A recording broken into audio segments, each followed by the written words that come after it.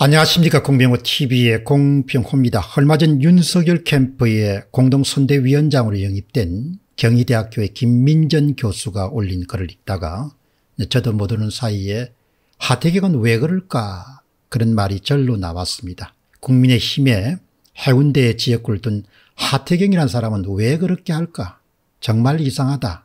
김민전 교수가 남긴 글은 이렇게 시작됩니다.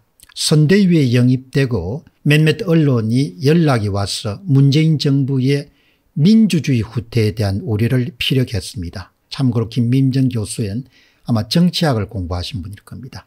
그런 저의 인터뷰에 대해서 국민의힘의 하태경 의원만 반응을 전해왔습니다. 이 부분까지 제 생각입니다. 민주주의 후퇴 정도가 아닙니다. 그냥 민주주의가 붕괴되는 수준입니다. 상권 분립이 완전히 붕괴된 상황입니다. 권력 빌리가 있어도 일체 수사를 할 수 없는 그런 상황입니다. 유튜브 채널을 운영하면서도 한 해가 다르게 점점 언론 통제가 심해지고 있다는 것을 빼지르게 체험하고 있습니다. 사기업 차원에서 이런 결정을 내린다 이렇게 생각하지 않습니다. 그것은 직접 정권이 압력이 있기 때문에 아마 사기업이 이렇게 심하게 통제를 한다 이렇게 봅니다.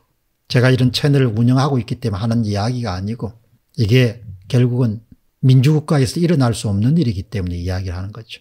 뭐 여러분도 아시다시피 얼마나 제가 절제된 언어를 쓰고 합리적인 그런 논평을 합니까? 그러나 그런 것도 듣기 싫다는 거죠. 듣기 싫으면 그냥 탄압할 수 있다는 겁니다. 이게 자유국가에서 가능한 이야기입니까? 제가 측한 딱한 사정을 여러분에게 이야기하는 게 아닙니다. 저는 이미 마음을 비우고 채널을 운영한 지가 제법 됐습니다.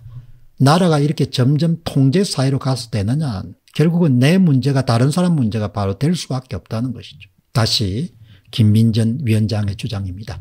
하태경 의원은 12월 31일에 저에게 전화를 걸어와서 이렇게 이야기했습니다. 2020년 4.15 총선에 재검표가 진행되지 못하는 이유가 민경욱 의원이 재검표에 들어가는 비용 2억 원을 안 내고 버티기 때문입니다. 따라서 재검표 이야기는 잘못 알고 말하는 것입니다. 이렇게 하태경 의원이 김민전 위원장에게 이야기를 한 겁니다.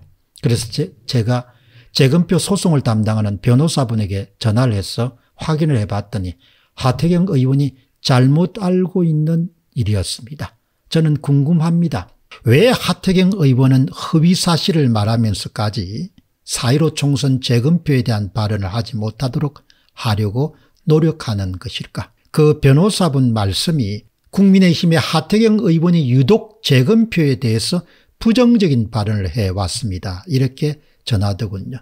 저는 민주주의 사회는 무엇이든 문제 제기를 할 수 있고 또 그것을 검증할 수 있는 사회라고 생각합니다. 왜 검증 자체를 하지 못하도록 하려고 하는 것인지 이해하기 어렵습니다. 이런 움직임에 특히 지금 논란의 중심이 되고 있는 이준석 씨와 하태경 씨가 참 적극적이죠. 저는 항상 어떤 인간의 행위를 볼 때 그냥 하는 행위가 별로 없다고 봅니다. 어떤 것을 의도적으로 열심을 다해서 할 때는 분명히 동기가 있는 겁니다. 돈벌이가 도움이 되든지 아니면 그것이 엄청난 대의에 합당하든지 아니면 타인에게 책을 잡혔든지 약점을 잡혔든지 그때 인간은 열심히 할 수밖에 없는 것이죠. 제 논평은 이렇습니다. 민주주의 사회는 무엇이든 검증할 수 있는 사회란 말씀에 김민전 교수의 말씀에 동의합니다. 그런데 우리가 쉽게 간과한 것은 선거 과정의 마지막 단계가 바로 오디시라는 검증이라는 것입니다. 그러니까 선거에서 별도로 있는 것이 아니고 선거에는 반드시 선거 안에 검증이 마지막 단계가 끝나야 선거가 모든 것이 마무리가 되는 겁니다. 그러니까 선거에 대해서 검증을 해도 안 해도 그게 선택사항이 아니고 반드시 선거는 검증을 해야 되는 겁니다.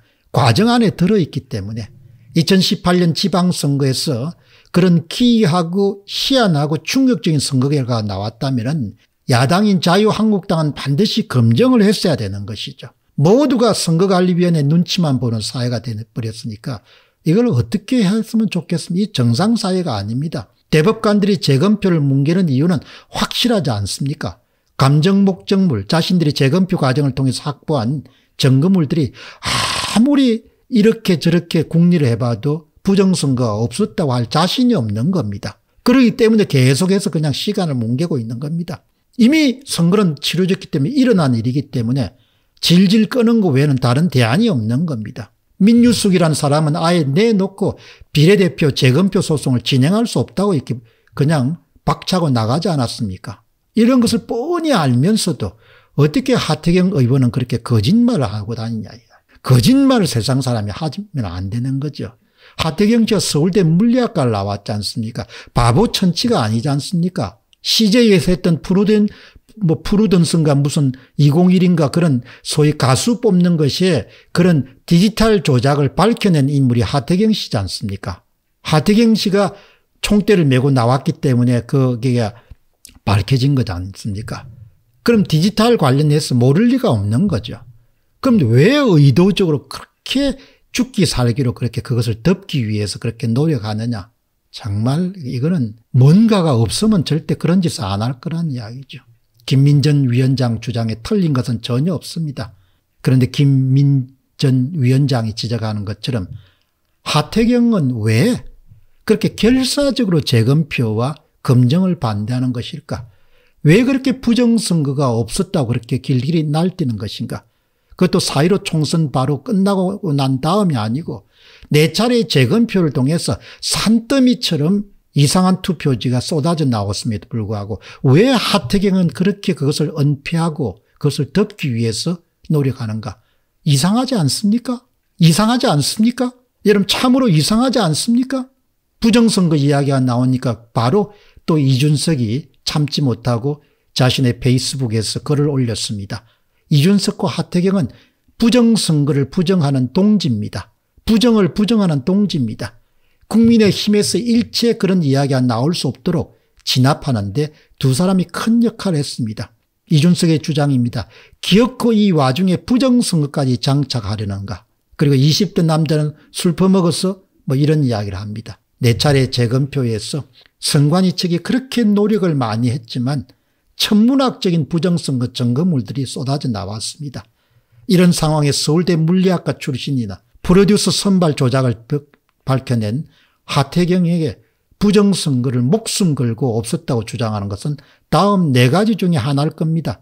첫째 정신줄이 나갔거나 이거는 아마 하태경 씨한테 해당 안 될 겁니다. 페북에 글을 쓰는 걸 보면 정상인이기 때문입니다. 두 번째는 돈을 먹었던지 세 번째는 뭔가 그쪽에 큰 약점을 잡혔던지 네 번째는 선관위에 잘 보이기 위해서인지 뭔가 이유가 있겠죠. 저는 사람의 행위가 항상 동기가 있다고 봅니다. 모티브. 뭔가 열심히 하는 동기가 있다는 이야기죠. 정신줄이 나가지 않았으면 뭔가가 있을 거랍니다. 여러분은 도대체 어떤 이유로 멀쩡한 그런 하태경과 같은 인간이 네 번의 재검표 결과를 보면서 그렇게 부정선거 이야기가 나오지 않도록 그렇게 총대를 메고 그렇게 다니는 것이라고 생각합니까? 인간이란 자기에게 뭔가 확실히 남, 남으면 움직입니다. 이익이 되면.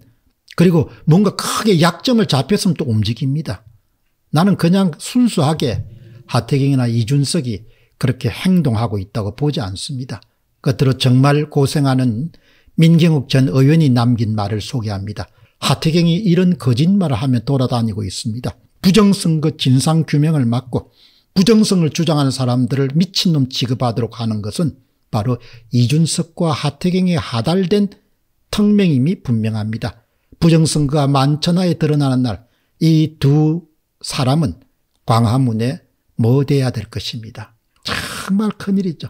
다 내 문제가 아니라 꽁무니를 뺍니다. 한국 사람들은 부정선거에 침묵하고 무관심하고 그렇게 합니다. 그러나 그 비겁함의 대가를 세대를 두고 지불하게 될 겁니다. 그냥 넘어갈 수 없습니다. 무진장 고생을 하겠죠. 선거가 없는 나라에서 뭘 지킬 수 있겠습니까? 재산을 지킬 수 있겠습니까? 신념을 지킬 수 있겠습니까? 자유를 지킬 수 있겠습니까? 아무것도 지킬 수가 없는 거죠. 선거가 여러분들 없다는 이야기는 뭘 이야기합니까? 정치 권력의 독주를 견제할 수 없다는 겁니다. 공병호 TV의 공병호였습니다. 감사합니다.